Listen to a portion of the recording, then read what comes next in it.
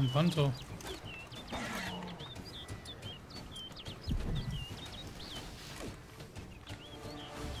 Ich habe keine Zeit. Ja. So, der wartet sogar da. da. Der wartet sogar auf mich. Nett.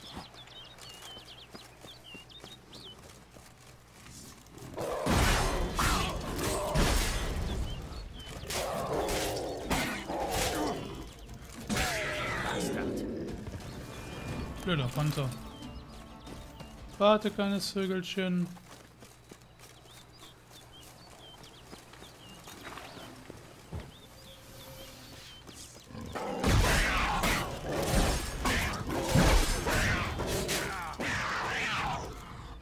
Na, geht doch.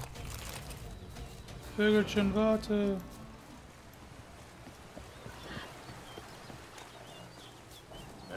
Dieser Gestank. Einer.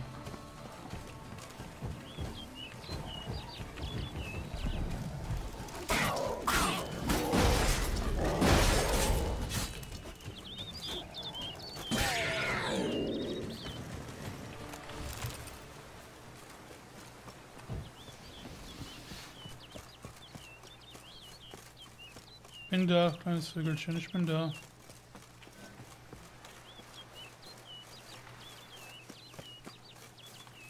Der Vogel ist über den Hügel geflogen. Vielleicht kann ich den Weg durch die Höhle abkürzen. Mhm.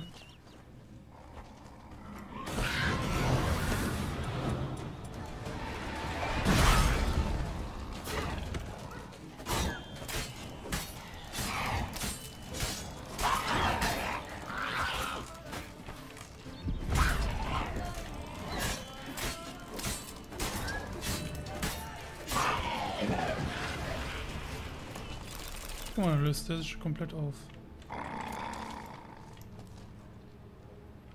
Okay, ich das schon gelootet? Nee. Da wartet noch ein Wicht auf mich, wie es scheint. Die Höhle kenne ich noch nicht.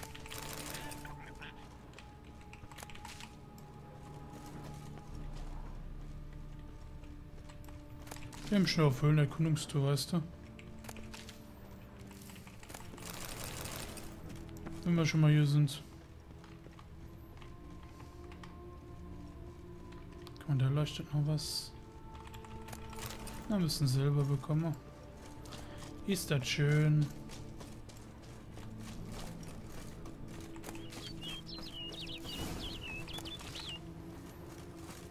Da wartet noch der Vogel auf mich. Hip. Wo ist er? Da ist er.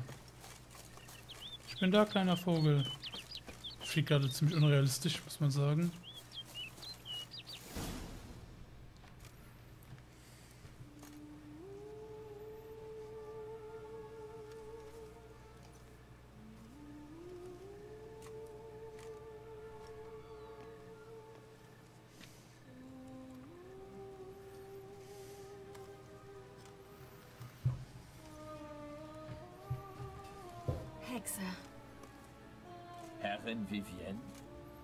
Ist ein du Vogel? dachtest, ich verlaufe mich. Das stimmt. Ich hielt dich nicht für anders als die anderen Ritter. Gut im Turnier, erbärmlich im Angesicht echter Gefahr. Ich lag falsch. Wie ich höre, kommst du öfters her. Hier hat alles angefangen. Und da ich dir nicht entkommen kann, mich vor dir nicht retten kann, will ich, dass es hier geschieht. An diesem Ort. Ohne Zeugen. Das was geschieht?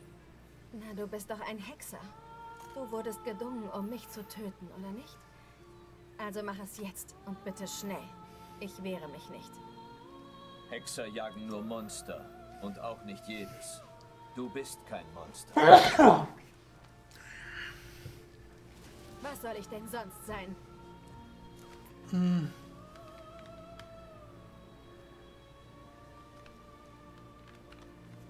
Bisher weiß ich nur, dass du keine Gefahr darstellst. Hoffentlich weiß ich bald mehr. Wenn du nicht den Auftrag hast, mich zu töten, was willst du dann hier? Steckt Guillaume dahinter?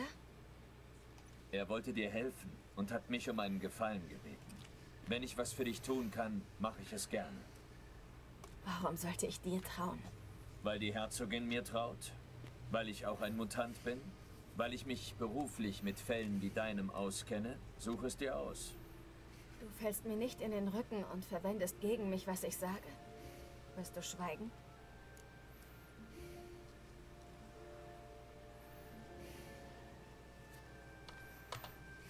Du hast nichts zu befürchten. Ich bin hier, um dir zu helfen.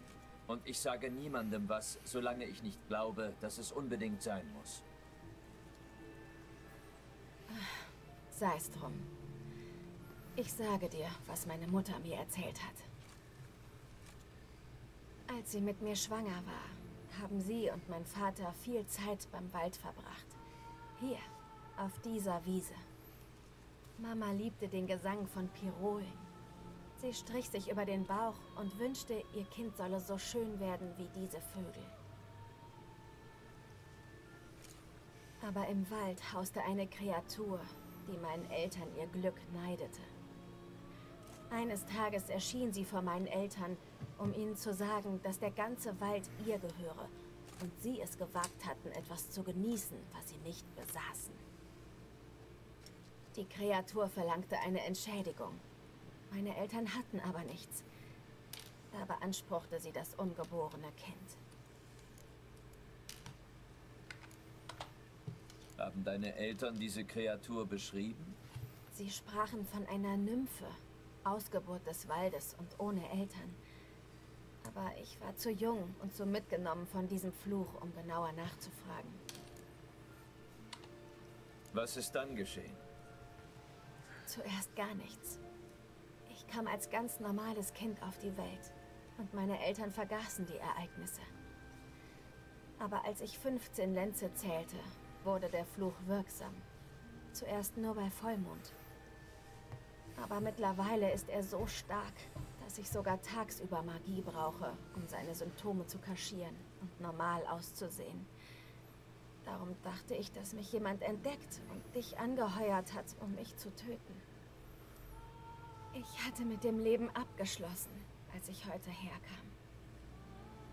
Vielleicht wäre es mir sogar recht gewesen, denn ich fürchte, mir steht die endgültige Verwandlung bevor. Deine Salbe enthält eine mächtige magische Zutat. Du hast nicht die Immunität von Magiern. Hohe Dosen und auch normale Dosen über längere Zeit sind gefährlich für dich. Das habe ich gemerkt. Deswegen wollte ich es ja aufgeben und meiner menschlichen Form ein für alle Mal Ade sagen. Vielleicht kann ich den Fluch brechen. Ich habe mal einen Baron getroffen, der sich endgültig in einen Kormoran verwandelt hatte. Ich konnte ihn vollständig heilen. Meinst du wirklich, dass es diese Möglichkeit für mich gibt? Ich kann nichts versprechen. Du bist ein schwerer Fall. Du wurdest vor deiner Geburt verflucht. Schon das macht die Sache schwierig. Und dann sagst du, dass die Symptome stärker werden. Ich könnte versuchen, den Fluch auf jemand anderen zu übertragen. Was? Kommt nicht in Frage. Ich kann doch nicht einfach irgendwem das Leben ruinieren. Ist das die einzige Methode, die dir einfällt? Die einzige narrensichere. Es gibt also Alternativen?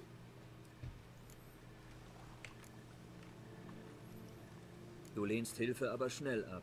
Warum? Wenn der Fluch übertragen würde, wirkt er auf die andere Person vermutlich viel schwächer. Ich will nichts mehr davon hören.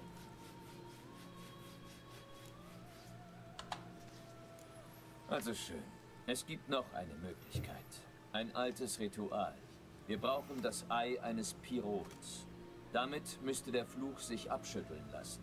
Aber ich muss dich warnen. Es könnte ernste Folgen geben. Was denn für Folgen? Der Fluch wurde ausgesprochen, bevor du auf die Welt kamst. Das Ritual sieht vor, ihn auf ein ungeschlüpftes Küken zu übertragen. Dann wärst du frei. Allerdings besteht die Gefahr, dass dir nur die Lebensspanne eines Pirols bliebe. Sieben Jahre. Ich verstehe. Ach, jede Rose hat ihre Dornen. Sowas wie ein glückliches Ende gibt es nicht. Jedenfalls nicht für mich. Ich bin auf den Tod vorbereitet. Und nun bietest du mir sieben Lebensjahre in Freiheit an? Das ist kein Dilemma. Ich bin von ganzem Herzen einverstanden. Das kann ich nachvollziehen. Du musst dich noch nicht entscheiden. Überdenk es. Das mache ich. Sicher vermisst man mich beim Turnier bereits. Wollen wir zurückgehen? Ja, bleiben wir Gern. noch. Aber willst du nicht... Ach, richtig. Ich kann das schlecht in Federn aufkreuzen. Entschuldige mich einen Moment.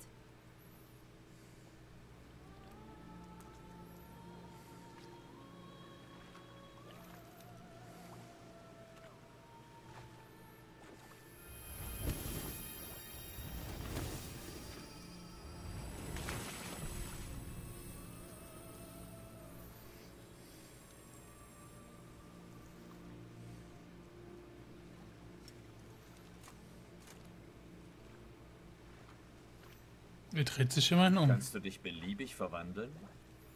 Nein, aber das Wasser des Teichs hilft. Nur für kurze Zeit, aber dafür stets zuverlässig. Interessant.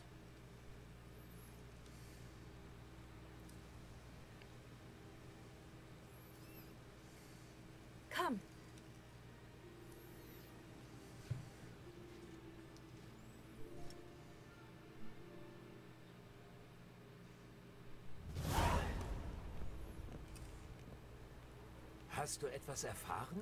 Ja, Dann raus damit, Mann. Siehst du nicht, dass ich außer mir bin vor Sorge? Was hat sie? sie hat mich um Diskretion gebeten. Aber ich will doch nur ihr Bestes. Vielleicht kann ich helfen oder, ich weiß nicht, sie wenigstens trösten.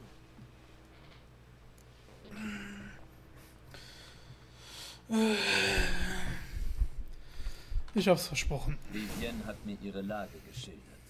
Aber es war vertraulich. Ich habe versprochen, dass ich niemanden einweihe. Aber ich bin doch nicht irgendwer. Ich würde alles für sie tun. Ich habe dich gebeten, ihr zu helfen. Du kannst mich doch jetzt nicht ausschließen. Tut mir leid. Bestimmt versteht Vivienne bald, wie viel sie dir zu verdanken hat. Aber bis dahin musst du einsehen, dass sich nicht die ganze Welt um dich dreht. Du wagst es, mir Lektionen erteilen zu wollen? Diese Art von Hilfe habe ich nicht gewollt. Und für dich habe ich meinen Turnierplatz geopfert. Das bereue ich jetzt. Willst du überhaupt bis zum Ende teilnehmen? Oder ist dir das jetzt egal, nachdem du Vivienne auf dich verpflichtet hast?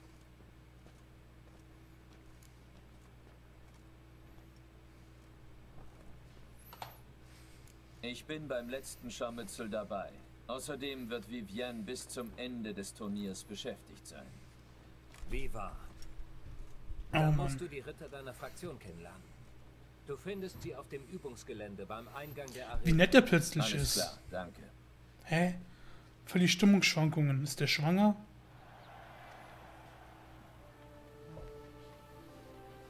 Na, die Arena kennen wir ja schon. Ich kenne jetzt die Aufstellung der beiden Fraktionen. Ich werde die unsere anführen. Das bedeutet, dass du für die Dauer des Kampfs meinem Befehl unterstehst. Ist das klar? Palmerin de l'Enfant führt die gegnerische Mannschaft an. Mit diesem Gefecht gedenken wir der Schlacht bei Fuchstal 1218, als eine Hanse südländischer Gesetzloser, die unter Haller dem braunen Toussaint überfiel, von tapferen Rittern zurückgeschlagen wurde, die uns allen damit ein leuchtendes Beispiel setzten. Seitdem werden die Grenzen des Herzogtums von fahrenden Rittern bewacht. Palmerin hat den kürzeren gezogen, also übernimmt seine Fraktion die Rolle von Hallas barbarischen Horden. Gibt es Fragen? Nein. Du wirst uns wohl wenig nützen. Als Hexer hast du ja keine Ahnung vom Ritterkampf. Versuch wenigstens, uns aus dem Weg zu bleiben. Ja, ja, ja. Es ist Zeit, meine Herren. Nehmt eure Waffen und begebt euch in die Arena.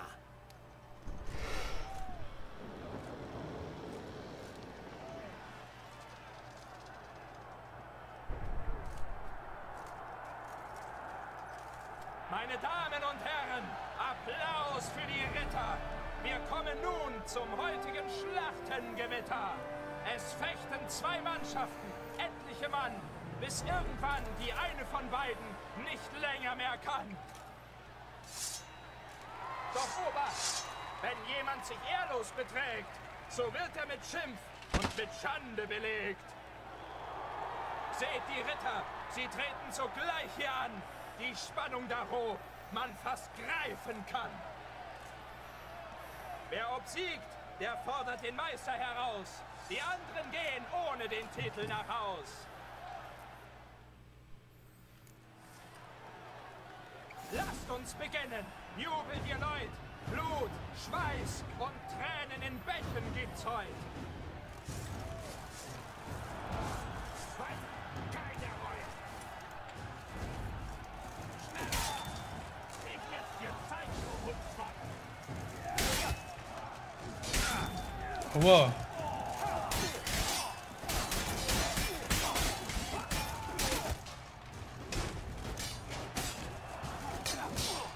Was? Bei uns sind schon drei weg.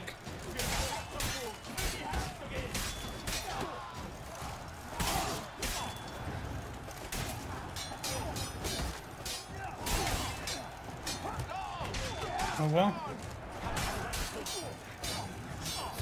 Ah, das ist Palmarin, gegen den ich kämpfe. Ah. Seht Geralt, er ficht die allein. So viele Ausfälle, nein. Welche Wie Pein. unfair.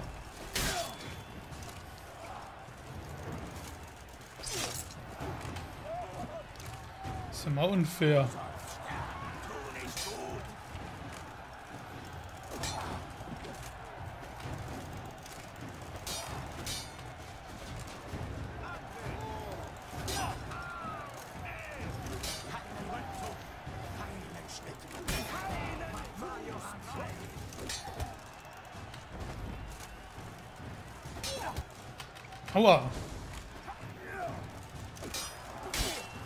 Gut, einen haben wir nur getroffen. Wow, das ist so knapp.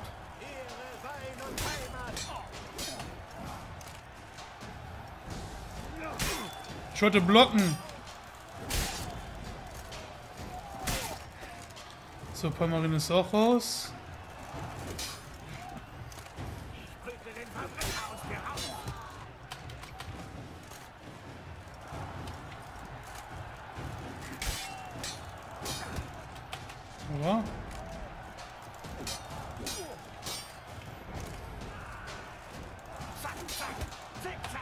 Wie er mich beim Ausholen noch geblockt hat.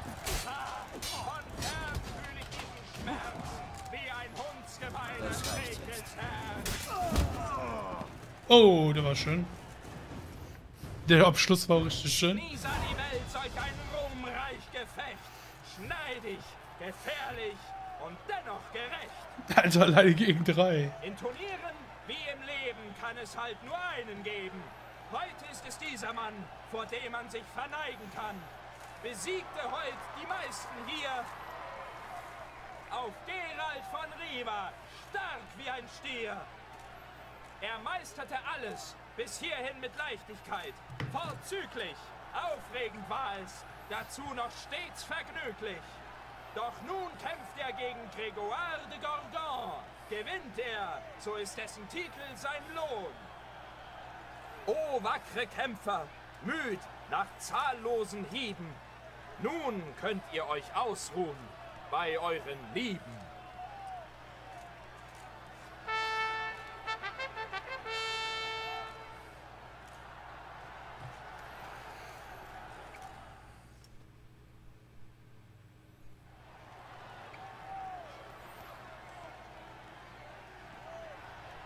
Es ist Zeit.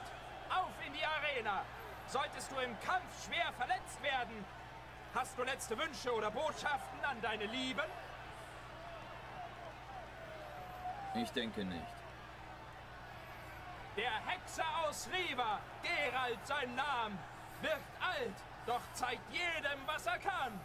Weiß ist seine Haarespracht und er zieht erfahren zur Schlacht. Mit lautem Getöse kommt der amtierende Champion, der letztjährige Sieger Grégoire de Gondor.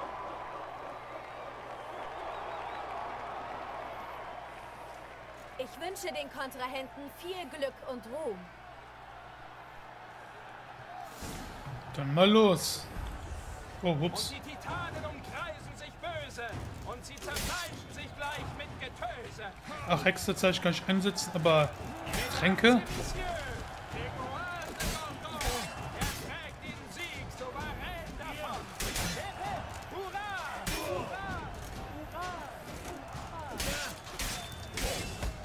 Aua. Und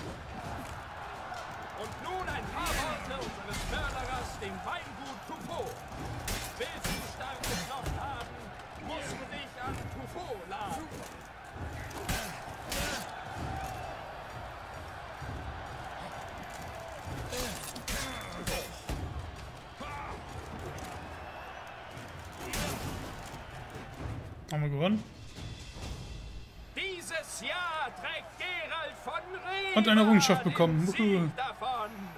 Und triumphiert damit über Gregoire de Gorgon. Hoch Gerald, Erald, Erald, Erald.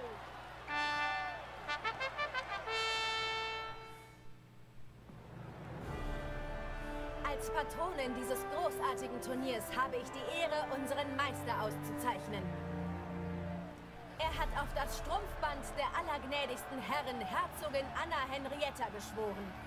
Zweifellos hat ihn dieser feierliche Eid auf unsere edle Herrscherin zum ruhmvollen Sieg getragen. Er hat großen Mut, große Stärke und große Disziplin bewiesen.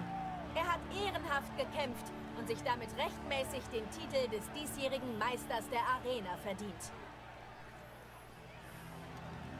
Ich muss mit dir reden. Jetzt nicht. Treffen wir uns später in meinem Zelt. Ich habe noch zu tun und du auch. Die Leute Wir sehen so bescheuert damit aus. Du solltest wenigstens winken.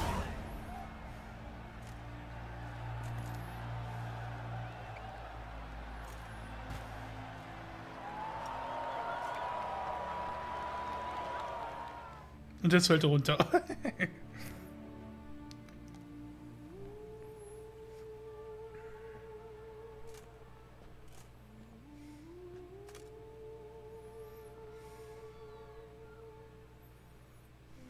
Sei gegrüßt, Herrin. Hast du dich entschieden? Habe ich. Ich stehe zu meinem Wort.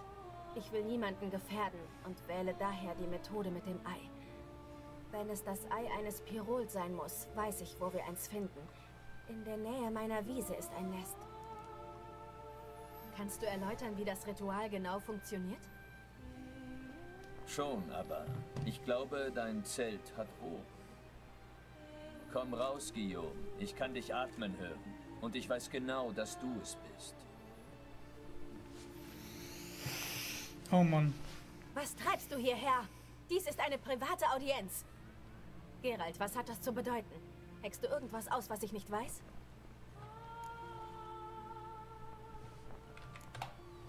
Guillaume ist kein Feind. Es ist zwar nicht sehr ehrenhaft, sich einzumischen, aber er hat es gut gemeint. Das tut er noch. Meine Du hast Brille. richtig geraten. Er hat mich angeheuert, aber nur, weil er dir helfen wollte. Herrin, ich lebe, um dir zu dienen. Was auch immer du wünschst, du musst es nur sagen. Dein Wunsch ist mir Befehl. Bist du fertig? Ist das alles, was du zu sagen hast? Hysterische Zicke. Ich glaube schon. Du tust also, was ich dir sage? Na schön, dann hör genau zu. Verlass dieses Zelt. Wende dich den nördlichen Sümpfen des Herzogtums zu und lauf. Lauf, bis das Turniergelände nicht mehr in Sichtweite ist. Kehre erst dann zurück, wenn du dich abgekühlt hast. Und lass mich für immer in Ruhe. Verstanden? Autsch. Aber, Herrin, dein Problem. Ich wollte nur... Der Hexer... Hinaus! Sofort!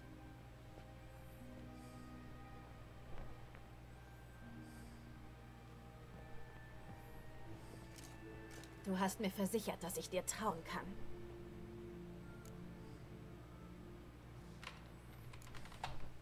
Ich habe dein Geheimnis bewahrt. Ich habe ihm nichts gesagt, was er noch nicht wusste. Er hat dich also angeheuert und du musstest ihm Bericht erstatten.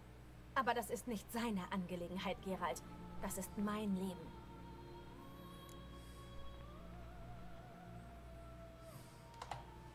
Bist du sicher, dass es richtig war, seine Hilfe so hastig vom Tisch zu wischen? Ohne ihn ist das Ritual mit dem Spiegelbild nicht machbar. Dazu braucht es jemanden, der den Fluch freiwillig auf sich nimmt. Und du dachtest, damit wäre ich einverstanden? Nein, Gerald. Auf der Wiese hast du mir von einem Ritual erzählt, das ohne die Hilfe von Lüstlingen auskommt. Und das ist die Methode, für die ich mich entschieden habe. Wir brauchen ein Ei. Am besten das eines Pirols. Das Ritual selbst ist nicht kompliziert, aber ich sagte ja, es hat eine Nebenwirkung. Bist du immer noch entschlossen? Ja, ich habe bei der Wiese ein Nest gesehen. Aber ehe wir gehen, sag mir, was wird aus dem Küken? Wir müssen das Ei zerbrechen. Wie du schon sagtest, gibt es nicht für jeden ein gutes Ende. Und man muss Opfer bringen, wenn man Träume verwirklichen will. Na schön, gehen wir.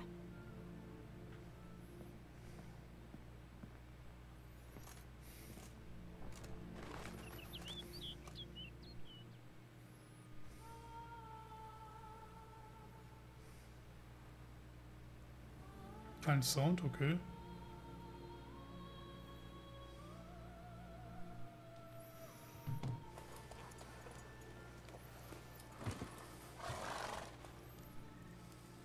Da sind wir. Wo sind wir denn? Boah, sind nicht so weit weg. So.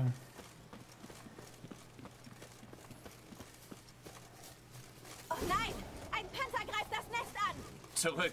Ich kümmere mich darum.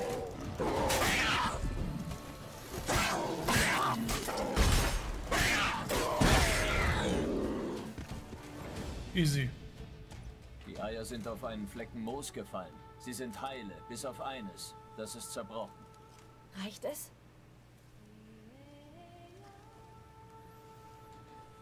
Glaub schon.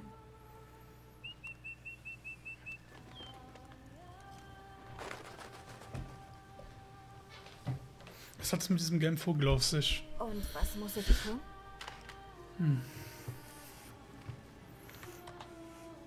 Ich frage dich jetzt ein letztes Mal. Bist du sicher, dass du das tun willst? Wenn es gelingt, ist es nicht rückgängig zu machen. Außerdem hast du wahrscheinlich nur noch sieben Jahre zu leben. Höchstens. Sieben Jahre ohne Angst im falschen Moment gesehen zu werden? Ohne das Stigma, ein Monster zu sein? Sieben freie, ungetrübte Lebensjahre. Ja, Gerald, ich bin sicher, dass ich das tun will. Na gut.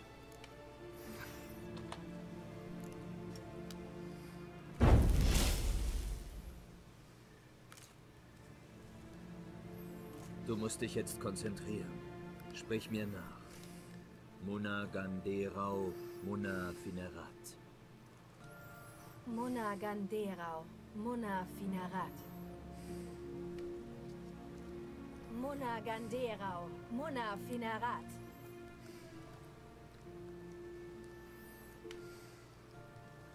Muna Ganderau, Muna Finarat.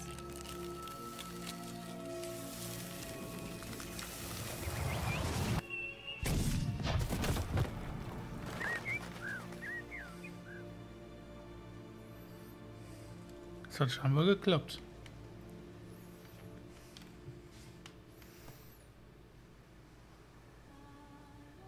Verdammt. Gerald, sieh nur! Sieh nur! Götter, ich kann auf Bälle gehen! Ich kann nach Ochsenfurt, sogar nach Novigrad reisen! Danke, Hexer! Guillaume solltest du danken. Er hat mich angeheuert, um dir zu helfen. Ja, ihm bin ich auch sehr dankbar. Richtest du ihm das aus? Das sollst du selber machen. Das solltest du ihm selbst sagen, oder? Das kann sein, aber ich würde es lieber nicht tun. Richtest du ihm bitte meinen Dank aus? Sei so lieb. Gut, ich sag es ihm. Leb wohl, Vivienne.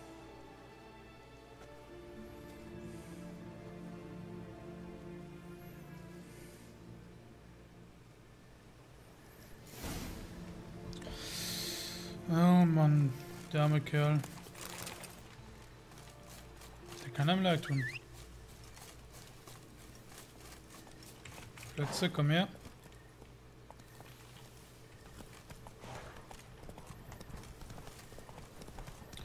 Wir müssen zurückreiten.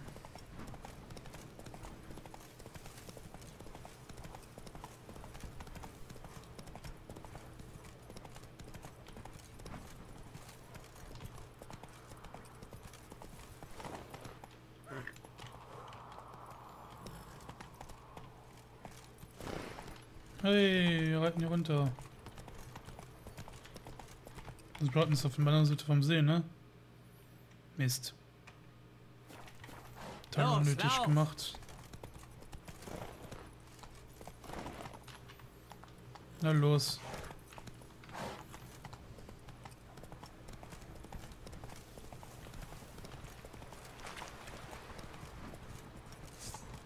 Ein Wildschwein, das ignoriere ich einfach mal.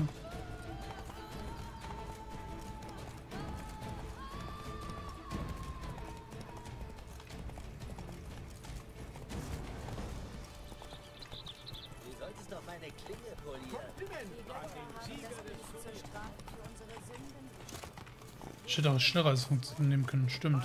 Egal. Gerald, was ist mit Vivienne? Ich konnte ihren Fluch brechen. Wirklich? Also wird alles gut. Sie kann unbesorgt sein?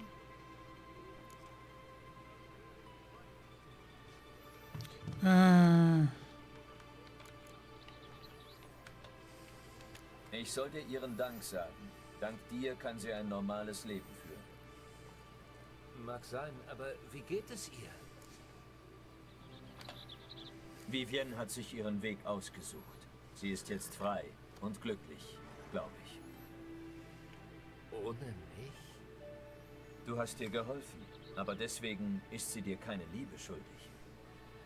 Mein Freund ist Barde und außerdem Philosoph. Amateur wohl. Er würde sagen, wenn du jemanden liebst, lass ihn gehen. Weißt du was, Gerald? Deine Belohnung hast du dir verdient. Aber deinen Rat behalte für dich. Adieu.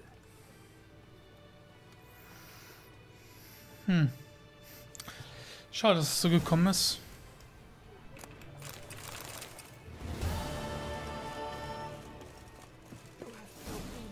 Zum atmenden Pfahl!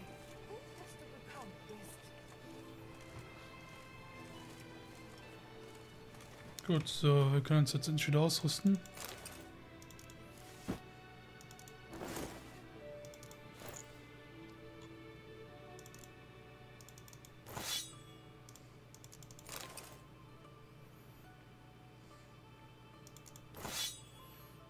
Voll das Riesenteile. Und wir wollen unsere Bulle tragen. Doch das Mindeste. Geld von Riva am Brust, ja. Welche gehen alles aus? Die können wir auch ausstellen, die Rüstung, die werden wir auch ausstellen. Also das werden wir, glaube ich, direkt auch machen. Wenn wir direkt einen Wegpunkt. Dann machen wir das doch direkt mal. Unser Weingut ist eh nicht weit weg. Ich hätte nicht erwartet, dass die Quest so lange geht. Muss ich ehrlich gestehen.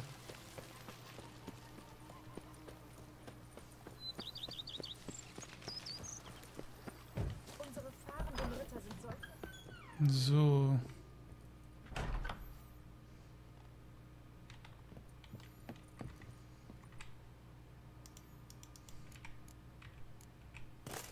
So, zack.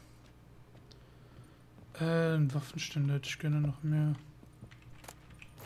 Kann ich da meine Armbrust hinhängen? Leider nicht, aber wir können das dann hängen. Das nehmen wir auch weg. Da fängen wir dann das dahin. So. Warum mehr Waffenständer? Warum habt ihr mir nur so wenig Waffenständer besorgt? Sieht im Verhältnis öde aus, langweilig, so. Tun das Schwert da hin. Die Klingen sehen auch cool aus, die können da bleiben.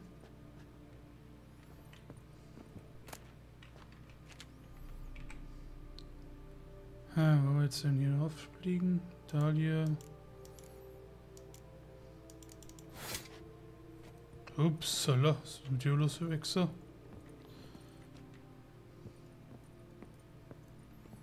Was habe ich nie für Waffen drin?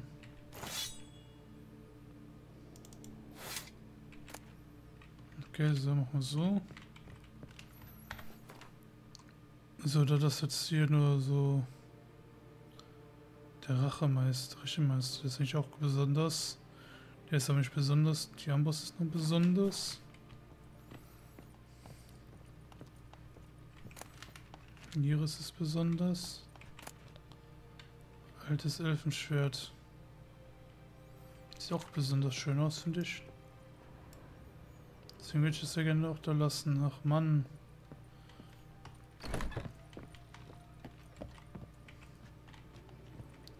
Ich kann keine Trophäe platzieren, toll. Äh, gut, den tun wir hier rein, den tun wir den da rein. Den verkaufen wir dann halt.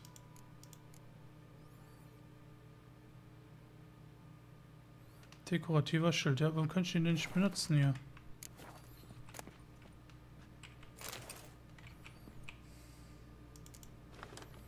So, kann ich mein Wappen dann hängen?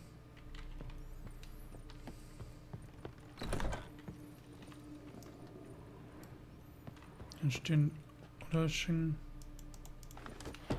den da auf. Und den nehme ich auch mit und hänge den auch noch da auf. Dann halt da eine leere Wand. Das mich aber nicht weiter stört.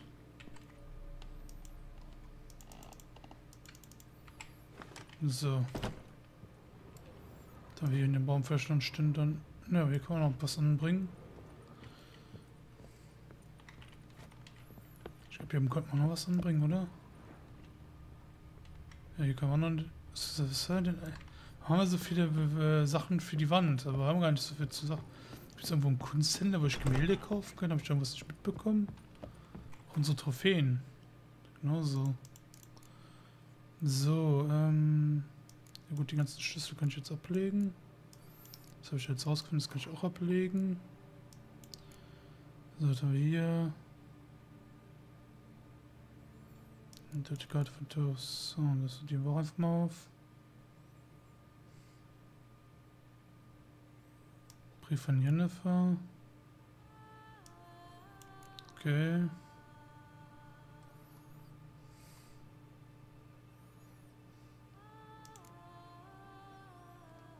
Ist noch nicht gelesen. Wie schön.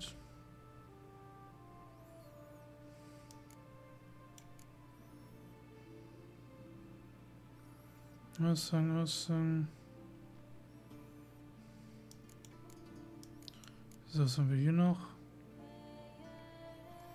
Okay, das kann ich jetzt.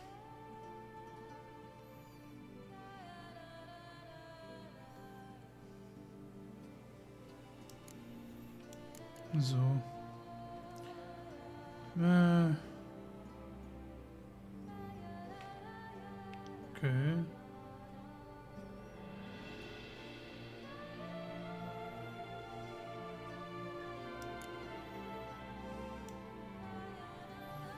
Quest hatten wir ja schon.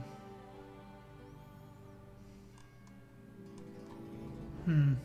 Na egal. So, äh, wir gehen wir hier hin. Dann lese ich mal das Buch. Achso, ist eine Plunder, okay. Gut.